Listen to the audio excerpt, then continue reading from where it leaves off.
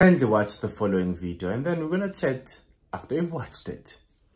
Melanie and Peet Viljoen from South Africa have stolen my identity. I'm Tammy Taylor, the CEO and founder of Tammy Taylor Nails since 1983. They are illegally using my name to sell franchises. They are counterfeiting and selling my products. They have forged my signature on illegal documents and many more infractions have been documented. They are also being deceptive by using my name, my logos, my trademarks, my copyrights on all their social media platforms. I have been threatened.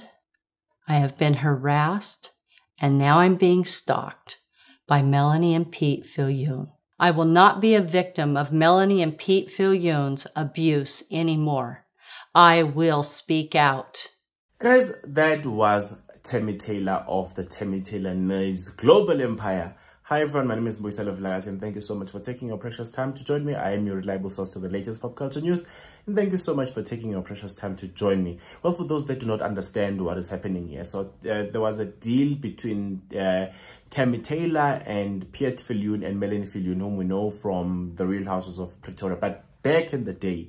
So um, it's it was, I guess, a distribution deal and uh, she would distribute some products to them and they ended up starting a franchise um, a huge you know nails in south africa became huge.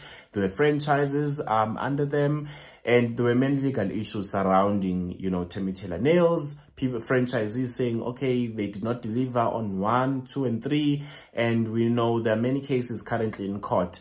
Um, and even there's currently even we even know I remember there was even a case surrounding Happy, Her Majesty from the Mummy Club, even before she joined, she joined the Mummy Club, also claiming that, yo, those people swindled me, you know. Now, currently, as you've heard Tammy Taylor, and uh, speaking about, you know, or rather making these allegations about Peet and, um, and Melanie, there was a, a they or rather Tammy Taylor Nails in, in the state sent a letter of cease and desist to the log to the local company to say, guys, stop using our name, our domain, and this is our intellectual property, and we also we terminate the distribution deal and the license. But the local business people, which is Peet and Melanie, continued and they have their own reasoning. Their reasoning is that um, Tammy Taylor Nails in the States does not have saloons. They only, you know, distribute products. We are the ones in South Africa who started the, this thing of franchises and whatnot. So apparently, now according to Peet, responding to this video that you've just seen, God, Tammy Taylor, he is saying that Tammy Taylor became um, greedy. At some point, she even said she wanted uh, them to buy a Bentley.